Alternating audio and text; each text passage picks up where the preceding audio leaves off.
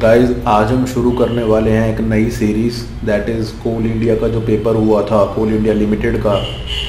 उसमें computer science का part देखने वाले हैं, जिसमें करीबन हंड्रेड क्वेश्चंस थे। ठीक है कोल इंडिया का पैटर्न बेसिकली क्या होता है कि दो पेपर हो paper one just hold on second guys मैं एक बार ये चेंज कर लूँ।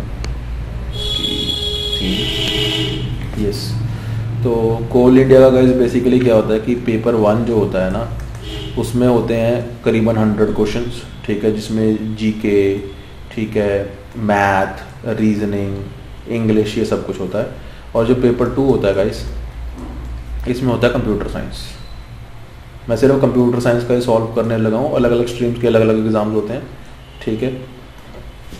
तो इसमें बेसिकली कंप्यूटर साइंस होता है गाइस तो हम अब आने वाली दो या तीन या चार वीडियोस में हम देखने वाले हैं। कि ये हंड्रेड क्वेश्चंस कौन कौन से क्वेश्चंस थे, ठीक है? और उनका क्या मैटर था, उनके क्या आंसर्स हैं, क्यों हैं? पूरी एक डिटेल्ड एक्सप्लेनेशन मैं आपके सामने दूँगा, जो स्टैटिक क्वेश्चन है दैट विल बी डायरेक्ट और जो समझाने वाले होंगे, मैं वो डिटेल्ड में समझाऊँगा भी। ओके गाइस तो एक बार इसे इरेज कर लेते हैं,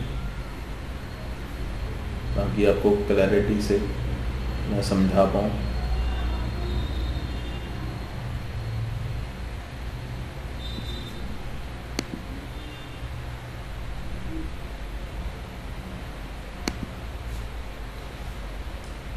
यस सो गाइज़ पहले अब क्या है कि ये क्वेश्चन था, ये क्वेश्चन नंबर हंड्रेड हम पीछे से लेके चल रहे हैं। Relations and fields can be renamed in relational algebra using the renaming operator using the renaming operator तो हमने गाइज़ ये डेटाबेस का क्वेश्चन है। ठीक है, आपको सभी को पता ही होगा, ये डेटाबेस का क्वेश्चन है। तो डेटाबेस में ऐसा कौन सा ऑपरेटर होता है जो रीनेम करने के लिए यूज़ होता है? That is the rho operator ठीक है? इससे हम रीनेम करते हैं। कई बार बच्चों को इसमें और इसमें कन्फ्यूज़न हो जाता है, पर दैट इज़ दिस ऑपरेटर जिससे हम रीनेम करते हैं। किसी भी ऑपरे किसी भी कॉलम का नेम या किसी भी रिलेशन का नाम। ठीक है? तो ये सिंपल होता है कि इसका नाम टेबल का नाम ये है और हमने ये रखना है। सिंपली रो ऑपरेटर सामने हम लगा देते हैं। ठीक है? उससे ये मतलब नाम चेंज हो जाता है। ठीक है? This is guys select operator होता है। ये नेम चेंज करने के लिए नहीं दिस इज़ सेलेक्ट ऑपरेटर ठीक है? And this is rho operator जिससे हम चेंज करते हैं। ओके तो it is a kind of static question अगला क्वेश्चन चेक करते हैं। ओके यस सो अब हमारा 99 जो क्वेश्चन है सॉरी गाइस थोड़ा सा इशू आ रहा है. यस ठीक जो 99 क्वेश्चन है guys that is mutual exclusion जो प्रॉब्लम है, वो किसमें अकर होती है? दो प्रोसेसेस के उसने बताया कि between two processes that uses different resources of different machines बिल्कुल ही गलत हो गया गाइस उसने क्या, वो क्या कह रहा है? पहले ऑप्शन में क्या कह रहा है? कि दो प्रोसेस हैं पी वन पी टू दो डिफरेंट रिसोर्सेज यूज़ कर रहे हैं। मान लीजिए ये कर रहे हैं, ये भी कर रहे हैं। और डिफरेंट मशीन्स पे कर रहे हैं गाइस ये इस मशीन पे कर रहा है और ये इस मशीन पे कर रहा है। तो इसमें कोई म्यूचुअल एक्सक्लूजन प्रॉब्लम होगी? नहीं होगी। Between two disjoint processes that do not interact दो प्रोसेस के बीच में गाइस अब दूसरा पॉइंट क्या है कि दो प्रोसेस हैं पी टू पी वन है। इन दोनों के बीच में कोई इंटरेक्शन तो है ही नहीं। डिसजॉइंट प्रोसेस है। कुछ भी कॉमन नहीं है। ठीक है? तो क्या इसमें म्यूचुअल एक्सक्लूजन होगा? नहीं होगा। म्यूचुअल एक्सक्लूजन ही नहीं होगा तो प्रॉब्लम कहाँ से अकर हो जाएगी? Among process that do not share the same resource P one P1 P2 P P1 अपने प्रोसेस पे काम रिसोर्स पे काम कर रहा है P2 अपने रिसोर्स पे। क्या कुछ म्यूचुअल एक्सक्लूजन प्रॉब्लम होगी? नहीं, ये अपने अपने रिसोर्स यूज़ करते रहे। कोई यूज़ इशू नहीं है। चौथा पॉइंट क्या है? म्यूचुअल एक्सक्लूजन प्रॉब्लम वहाँ पे अकर होगी, जहाँ पे सेम रिसोर्स पे दोनों काम करना चाहते हैं। ठीक है, जहाँ पे क्रिटिकल सेक्शन में इंसर्ट होंगे वो। तो that is called as mutual exclusion problem okay guys so fourth will be our option कि म्यूचुअल एक्सक्लूजन कहाँ पे होगा? डिफरेंट मशीन्स पे नहीं होगा सेम मशीन पे होगा. सेम रिसोर्स को यूज़ करना चाहेंगे, ठीक है? जो रिसोर्स शेयर करेंगे म्यूचुअल एक्सक्लूजन कहते हैं. Okay guys now our next question will be this कि जो वर्किंग सेट मॉडल है is use in memory management जो वर्किंग सेट मॉडल है is use in memory management to implement the concept of ये थोड़ा raise हो चुका है, आप देख लीजिए, मैं साथ उसमें लिखता रहूँगा। कि वर्किंग सेट मॉडल है जो मेमोरी एंड मैनेजमेंट में, वो किस कॉन्सेप्ट को इंप्लीमेंट करने के लिए यूज़ होता है? The working set model is use in memory management to implement the concept of what guys concept होता है वो प्रिंसिपल उसमें क्या क्या कहा है कि एक पेजिंग है प्रिंसिपल ऑफ़ लोकेलिटी है थ्रैशिंग है सेगमेंटेशन है। ठीक है गाइस तो इसका आंसर है प्रिंसिपल ऑफ़ लोकेलिटी अब ये क्यों है? इसमें क्या बताया गया? पहले तो आपको ये पता होना चाहिए कि वर्किंग सेट मॉडल होता क्या है। ठीक है? वर्किंग सेट मॉडल ये होता है कि मान लीजिए एक मेमोरी है हमारे पास। उस एक, मान लीजिए ये मेन मेमोरी है। ये हमारे पास सेकेंडरी मेमोरी है। अब मान लीजिए एक जीबी का यहाँ पे गेम पड़ा है और आपके पास जो ये 512 सौ की मेन मेमोरी है। अब जो गेम है वो कॉन्टिन्यूसली चलती रहेगी, ठीक है? कॉन्टिन्यूसली चलती है हमारे सिस्टम पे। तो ये सीपीयू है। सीपीयू को क्या चाहिए? कोई एड्रेस चाहिए, मान लीजिए हमें चाहिए एक फिजिक लॉजिकल एड्रेस चाहिए उसने। अब हम कन्वर्ट करके उसे फ़िज़िकल एड्रेस में लेते हैं और फ़िज़िकल एड्रेस में मेन मेमोरी पे जाता है और वहाँ से ये स्वैपिंग होती है। अब जो ये स्वैपिंग है guys this is swapping locality of reference के बेसिस पे होती है। कि मान लीजिए, अभी मुझे इंस्ट्रक्शन नंबर मैंने थाउज़ेंड लिया है करंटली जो एग्जीक्यूट हो रहा है, आगे मुझे instruction number one thousand one ही चाहिए होगा या नाइन नाइन नाइन चाहिए होगा। ठीक है?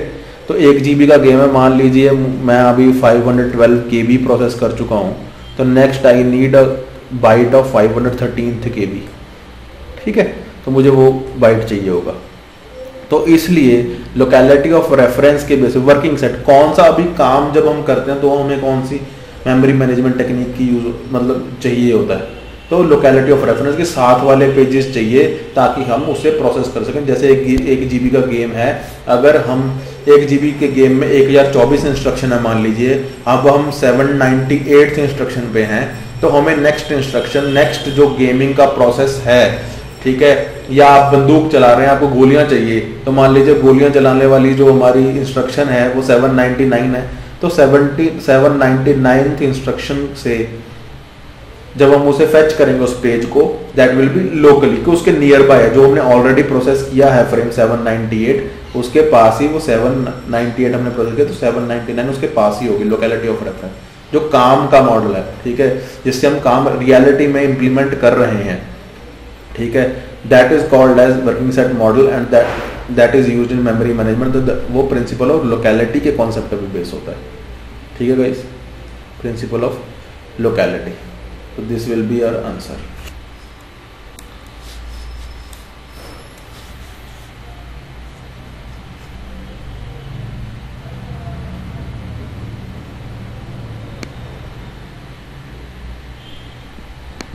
guys our next question is कि रिकर्जन को इम्प्लीमेंट करने के लिए हम कौन सा डेटा स्ट्रक्चर यूज़ करते हैं रिकर्जन को इम्प्लीमेंट करने के लिए हम कौन सा डेटा स्ट्रक्चर यूज़ करते हैं? तो ऑब्वियसली ये D Q link list Q और स्टैक गाइज़ रिकर्जन को यूज़ करने के लिए वी यूज़ स्टैक ठीक है? ये तो हमें आपको यहाँ से सीधा पता चल गया, पर कैसे रिकर्जन को करते हैं? गाइज़ रिकर्जन बेसिकली करता क्या है? मान लीजिए रन टाइम एनवायरनमेंट के बारे में आपने सुना होगा। रन टाइम एनवायरनमेंट में क्या होता है? गाइज़ एक फ़ंक्शन है, मान लीजिए ये फ़ंक्शन वन है। Function one calls with X parameter to function two with Y parameter okay and function two है जो, वो कॉल करता है वाई पैरामीटर के साथ फ़ंक्शन वन को अगेन तो ये इसमें स्वैप होता रहता है। ठीक है एक तो ये तरह का फ़ंक्शन है। एक मैं और एग्जांपल ले लेता हूँ guys F one with parameter this F one X minus one तो दिस इज़ प्योर रिकर्शन अब ये एक्स वाई पे डिपेंड करता है एक्स की वैल्यू पे डिपेंड करता है कि ये फ़ंक्शन कितने टाइम चलेगा। ठीक है? तो अब क्या होता है गाइस कि मान लीजिए ये हमारे पास एक स्टैक है। स्टैक के अंदर F1 जब आया, उसकी x की कोई वैल्यू रही है, मान लीजिए थ्री है, ठीक है?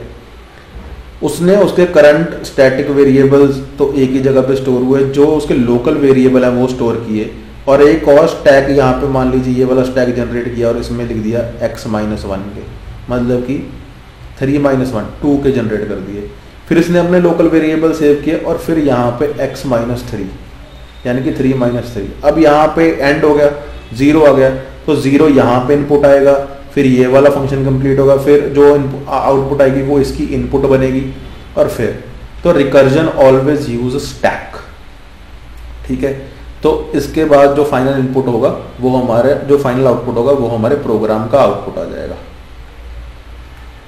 जो इस प्रोग्राम का आउटपुट है, ठीक है? तो लोकल वेरिएबल एक स्टैक में सेव किया जाता है, फिर एक इंटरनल स्टैक क्रिएट किया जाता है फिर उसके बाद उसके लोकल वेरिएबल सेव किए जाते हैं। स्टैटिक वेरिएबल का याद रखना स्टैक में नहीं चेंज होते। स्टैटिक वेरिएबल एक ही जगह पे सेव होते हैं। ठीक है? सो गाइस तो आंसर फॉर दिस क्वेश्चन की रिकर्जन कौन सा डाटा स्ट्रक्चर यूज़ करती है? That will be a stack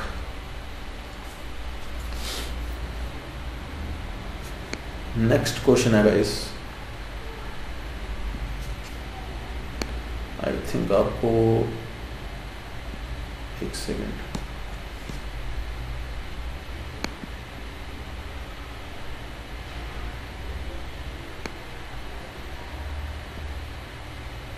मुझे लग रहा है कि हमारा एक इशू आ रहा है। Let me check it out guys okay guys I will explain this ये साइड में जो हो रहा है कि शायद आपको पूरी स्क्रीन में नहीं दिख रहा हो। तो मैं एक बार आपको यहाँ पे रिपीट कर देता हूँ कि मैंने फ़ंक्शन बनाया था एफ़ वन एक्स इसमें एफ़ वन को ही कॉल करता है एक्स माइनस वन में। और दिस इज़ रिकर्जन और यहाँ पे जब हम स्टैक यूज़ कर रहे थे मान लीजिए एक्स की वैल्यू जब थ्री थी तो पहले यहाँ पे चलेगा एफ़ ऑफ़ थ्री के लिए, फिर उसके बाद यहाँ पे एक नया स्टैक होगा, फिर वो एफ़ ऑफ़ टू के लिए चलेगा, फिर अगेन वो एफ़ ऑफ़ वन के लिए चलेगा, फिर अगेन और एफ़ ऑफ़ ज़ीरो के लिए चलेगा। ठीक है, फिर इसका आउटपुट इसका इनपुट बन जाएगा, इसका आउटपुट इसका इनपुट बन जाएगा, इसका आउटपुट इसका इनपुट बन जाएगा इसका आउटपुट पूरे प्रोग्राम का, इस प्रोग्राम का आउटपुट बन जाएगा। ठीक है गाइस सो इसलिए ही हम इसमें स्टैक यूज़ करते हैं कि लोकल वेरिएबल्स हैं जो, वो स्टैक में सेव हों और जो ग्लोबल या स्टैटिक वेरिएबल है, वो बिल्कुल अलग मेमोरी में स्टैटिक मेमोरी में सेव होते हैं। तो stack use for recursion to save the local variables for some point of time जब तक उसके जो जूनियर या उसका जो छोटा, उसके इंटरनल जो फ़ंक्शन है, वो कंप्लीट होते हैं, तब तक वो लोकल वेरिएबल लोकल स्टेट में सेव रहते हैं। इसलिए रिकर्जन के लिए हम स्टैक यूज़ करते हैं। Okay guys so moving on to next question इसमें बताएगा कि पॉलिनोमियल जो addition as using implementing which data structure it's a very static question guys कि पॉलिनोमियल एडिशन के लिए हम लिंक लिस्ट यूज़ करते हैं। ठीक है? पॉलिनोमियल के लिए हम लिंक लिस्ट यूज़ करते हैं। आगे क्वेश्चन है गाइस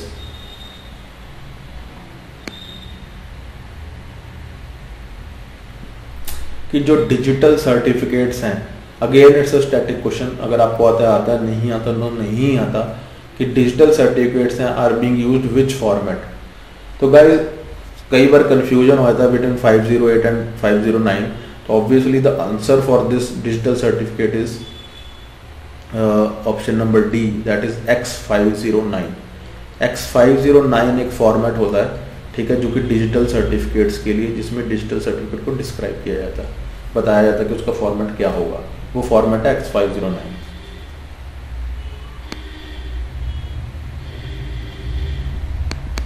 guys कितना आसान क्वेश्चन पूछ लिया, देख लो। एक नंबर का कि एसिड प्रॉपर्टी हैं जो, ठीक है, वो क्या होती हैं? ACID property guys atomicity consistency isolation and durability atomicity क्या होता है कि एक टाइम पे एक ही इंस्ट्रक्शन है, जो ट्रांजेक्शन है, एक टाइम पे एक ही चलेगी। ठीक है? कंसिस्टेंसी क्या होगा कि जो एक कंसिस्टेंट स्टेट में डेटाबेस था, मान लीजिए ए में सौ रुपए थे और बी में पचास थे तो अगर कोई ट्रांजैक्शन होती है कि ए में पचास रुपए कट जाते हैं और बी में पचास प्लस हो जाते हैं, ठीक है? ये ये ट्रांजैक्शन प्रीवियस थी और ये ट्रांजैक्शन होने के बाद का कमिट होने के बाद है। तो कमिट होगा ताकि डाटाबेस एक कंसिस्टेंट स्टेट में रहे। कंसिस्टेंट स्टेट क्या थी गाइस पहले भी डाटाबेस में डेढ़ सौ रुपए थे, अब भी डाटाबेस में डेढ़ सौ रुपए हैं। ठीक है? आइसोलेशन कि हर एक ट्रांजैक्शन को ऐसे लगना चाहिए, अगर दो ट्रांजैक्शन चल रही हैं, ठीक है, कि हम हमें अकेले अकेले को ही पूरा सिस्टम मिल रहा है, सिर्फ़ हमारी ही ट्रांजैक्शन पूरे सिस्टम में चल रही है, और किसी की नहीं चल रही। कोई भी दो कॉन्करेंट ट्रांजेक्शन एक दूसरे में इंटरव्यू नहीं करनी चाहिए, ठीक है?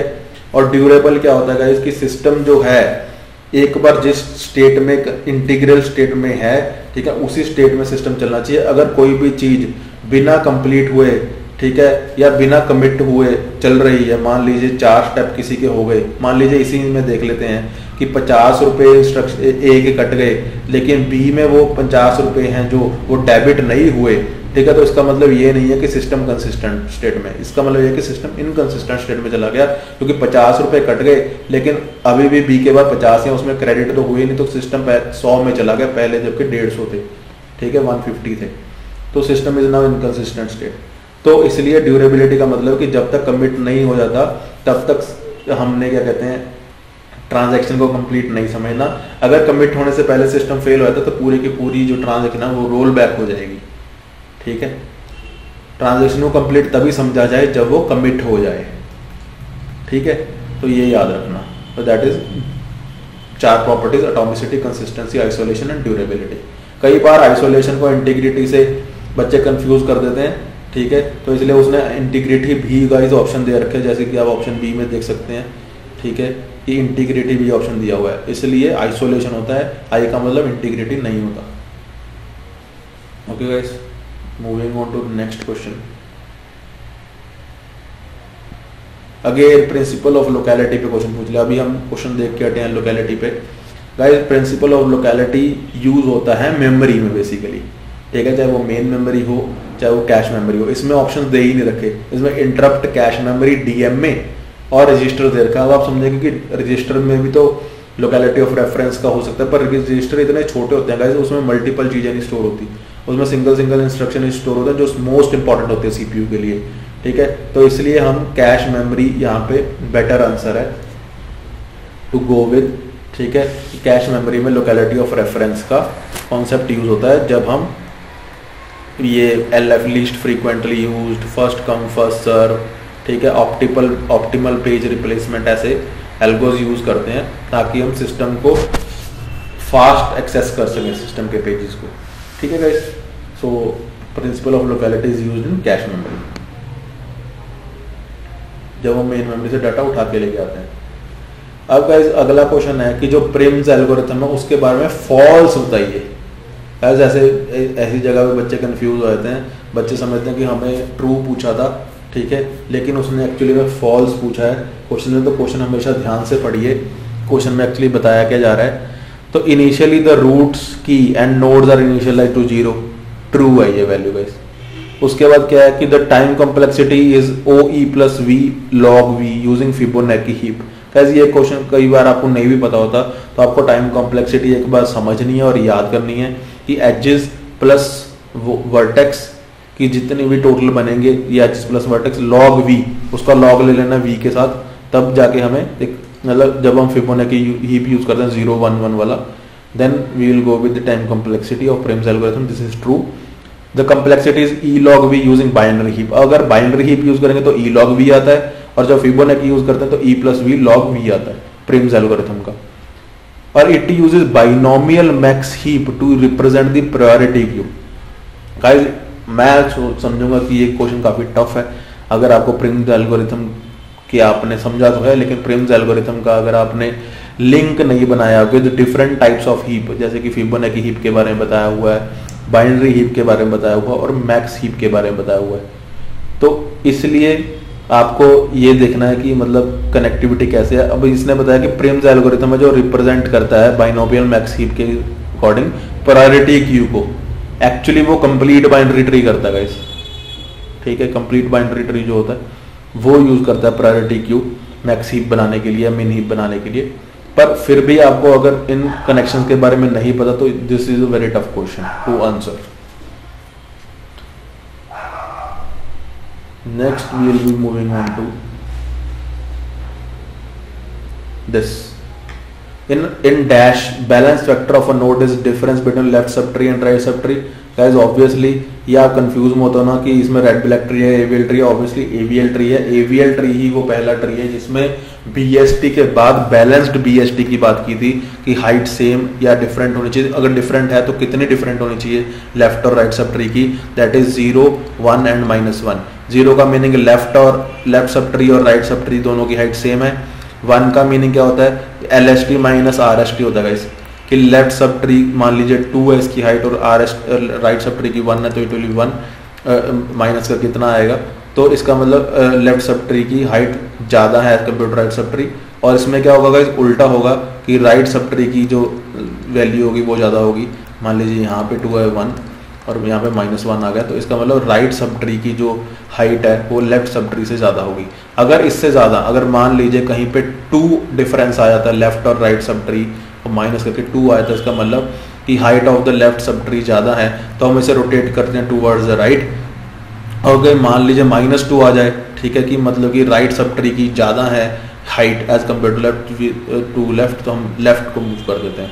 ओके गाइस ये एवीएल ट्री के बारे में थोड़ी सी मैंने इन्फॉर्मेशन दी, आप इसे डिटेल में पढ़ लीजिएगा कि एवीएल ट्री के बारे में।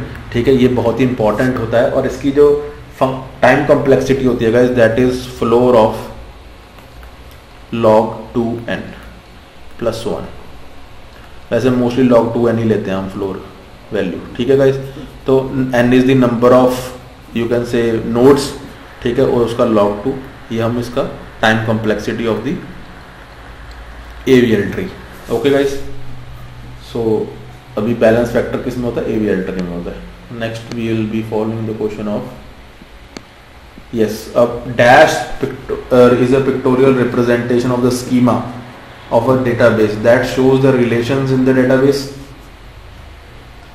That shows the relations in the database their attributes, primary keys and foreign keys. Guys, ऐसा कौन सा पिक्टोरियल डिपिक्शन होता है जो डाटाबेस की स्कीमा को बताता है? ऑब्वियसली स्कीमा का डायग्राम होता है गाइस ठीक है, जिसमें हम बताते हैं कि प्राइमरी की कौन है पी के कौन है एफ़ की कौन है, ठीक है, और उसके क्या क्या एट्रीब्यूट्स हैं, ठीक है, और एक दूसरे के साथ क्या रिलेशन है.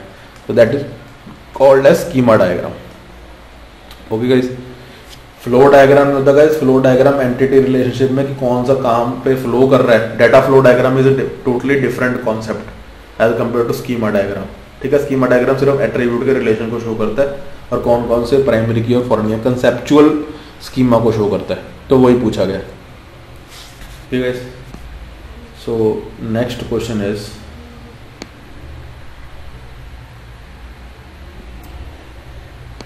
okay okay. तो गाइज़ इस ये क्वेश्चन है हमारा टीओसी से। Sorry let me raise this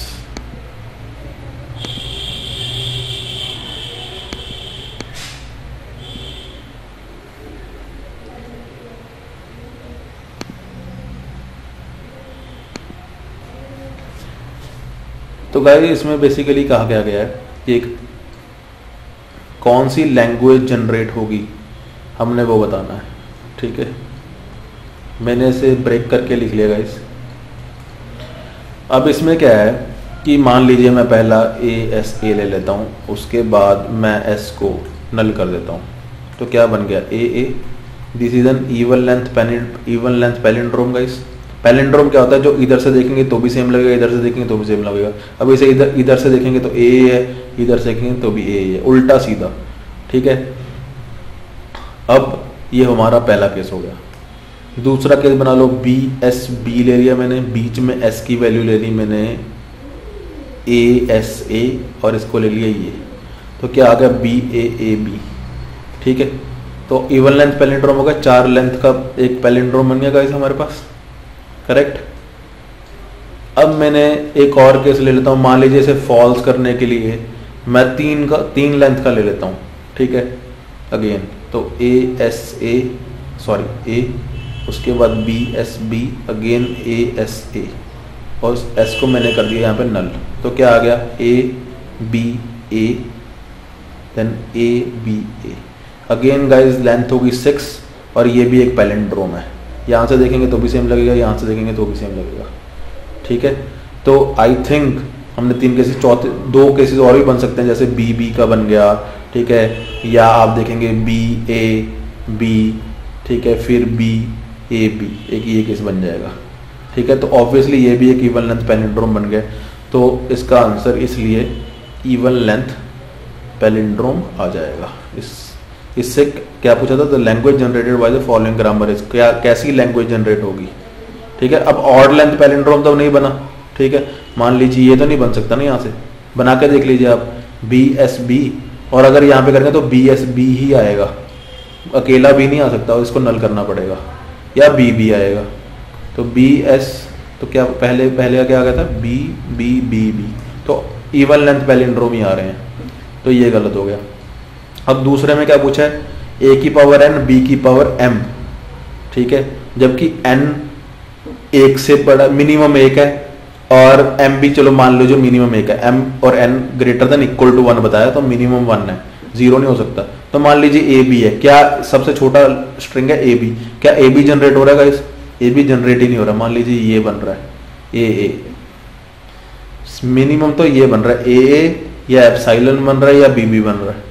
ये बन रहा है मिनिमम ए बी तो जनरेट ही नहीं हो रहा। तो इसका मीनिंग ये भी गलत है। अब क्या है? इसका उल्टा पूछ लिया था।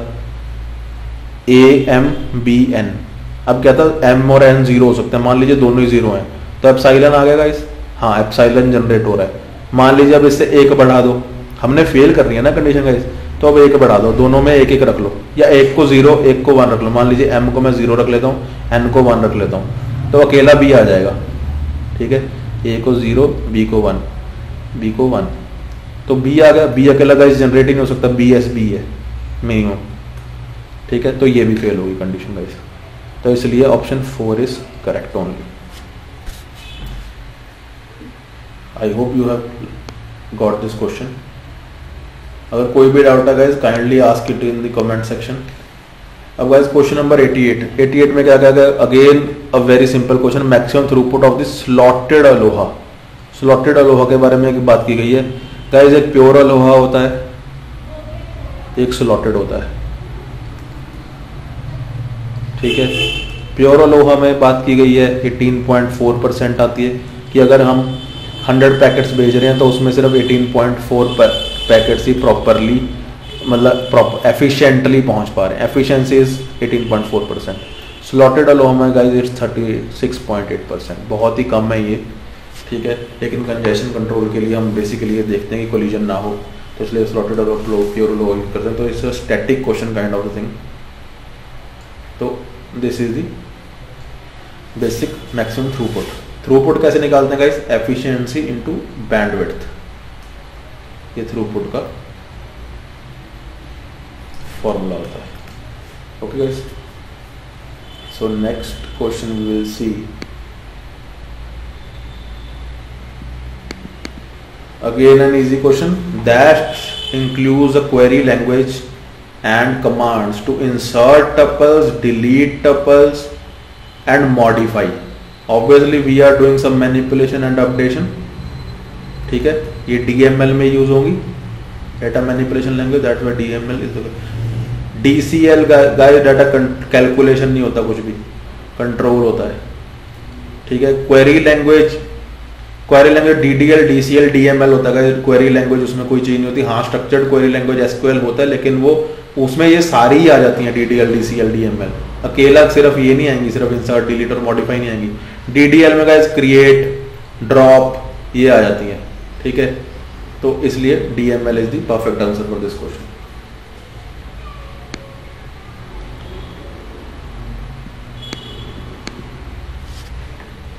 so आगे गाइस हमें क्वेश्चन दिया गया है कि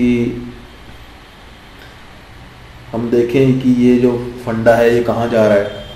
जो ये प्रोग्राम दिया ये क्या निकाल रहा है ठीक है? अब एक्स और वाई की वैल्यू दे दी। अगर तो वाई ज़ीरो से छोटा है, ये बराबर है तो x आ जाए। अदरवाइज़ y और x परसेंट y, इसका मीनिंग क्या होता है रिमाइंडर ठीक है? तो जब रिमाइंडर आएगा तो ये फ़ंक्शन गाइज़ हमें ग्रेटेस्ट कॉमन डिवाइजर देता है। ये फंडा हमेशा याद रखना। वैसे तो ये क्वेश्चन बहुत पूछ लिया गया है कि जब हम रिमाइंडर रिटर्न कर रहे हैं, ठीक है?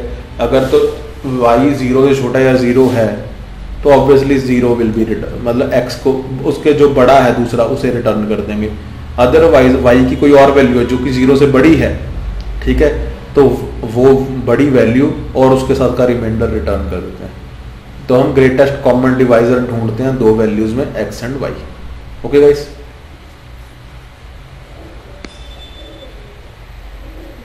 next question है गाइस कि जो सॉरी 83 नंबर क्वेश्चन है, मुझे पता है 84 और 85 देखना, वो हम दोबारा बाद में देखेंगे एटी थर्ड क्वेश्चन में गाइस बताएगा कि पेज फॉल्ट जब अक्कर होता है, ठीक है तो उसका मीनिंग क्या होता है एक्चुअली कब अक्कर होता है? व्हेन पेज फॉल्ट कब अक्कर होता है? The page has an address which can not be loaded page के पास एक एड्रेस है। गलत, ये लाइन ही गलत है guys the page is not in the cache memory no guys तब उसे पेज फॉल्ट नहीं कहते, उसे हिट या मिस बोलते हैं. ठीक है कैश हिट या कैश मिस उसे पेज फॉल्ट नहीं बोलते. The page is not in the memory main memory yes guys यहाँ पे हम जो एल्गोरिथम्स यूज़ करते हैं, ठीक है, जैसे फ़र्स्ट कम फ़र्स्ट सर्व हो गया, ठीक है, या इतने पेजेस हैं हमारे पास, खाली होल्स हैं, उसमें पेजेस लोड करने हैं तो पेज फॉल्ट मेन मेमोरी में होता है. ठीक है द पेज अगर मेन मेमोरी में ही हो गया तो पेज फॉल्ट थोड़ी होगा इस तो ये भी गलत है। ठीक है पेज अगर मेन मेमोरी में तो that is page hit not page miss ठीक है कैश में कैश हिट कैश मिस बोलते हैं तो ये भी नहीं होगा।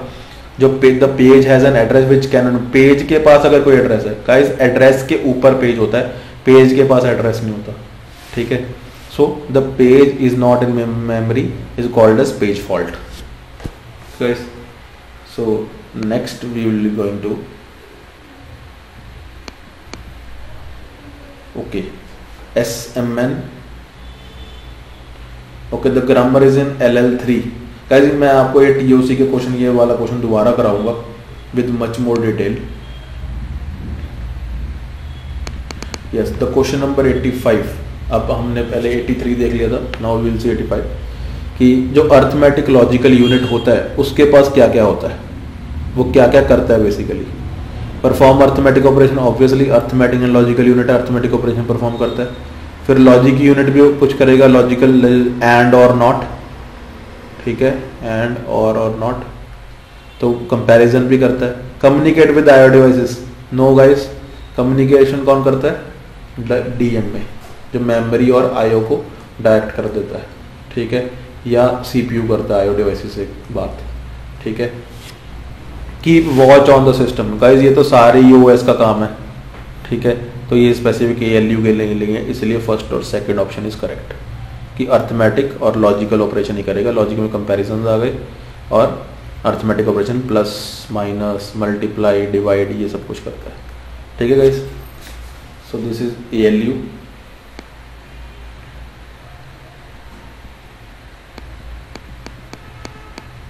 recognise relation question भी गाइस मैं आपको एक डिफाइंड सेट में कराता हूँ। Yes this question number 81